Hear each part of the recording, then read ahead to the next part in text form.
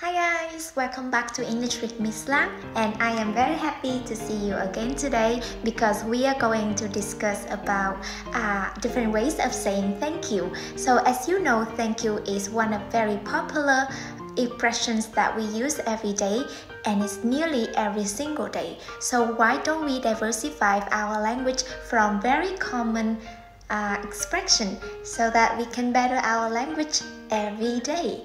So let's get started. Now, the first way of saying thank you is I owe you a favor.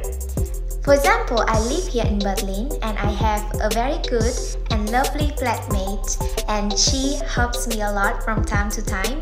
So whenever I receive her help, I just say, I owe you a favor. Just tell me whenever you need my help. So another way of saying thank you is you made my day. I remember yesterday my flatmate had birthday and I bought her her favorite food, sushi, and she was just so happy and so surprised and she said, "Oh, thank you. You made my day." Well, that is a very good way of saying thank you, right? And this is also one of my favorite. Another way of saying thank you is um, I can't thank you enough. I can't thank you enough. For example, um, my friend shared with me a very good videos and it was really interesting and it's helped me a lot and it's opened my mind. So I said to him, I can't thank you enough. I'm truly grateful or I'm very grateful. I remember like uh, last week I was attending a lecture and there was a, there was a lot of presentations from different students who have just finished their internships and their um, their traineeships and their studies abroad in many countries, many companies. And the teachers asked me, like, how do you feel about these lectures? And I just say, I am very grateful to be here um, because everything is so eye-opening and informative. Yeah, so I'm really grateful or I'm truly grateful. So alright, how about the next one? This is also one of my favorite because it's very sweet guy. It's I promise that this one is so sweet. That is, what would I do without you?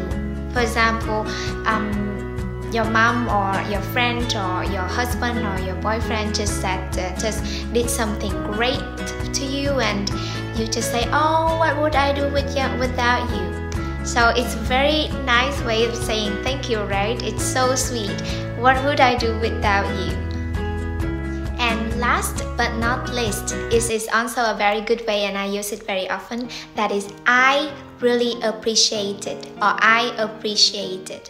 For example, you can uh, somebody did something great or they um, they give you advice, for example, and you will say, "Wow, I really appreciate it" or "I appreciate it." So I feel like this expression is um, more grateful than just saying thank you very much.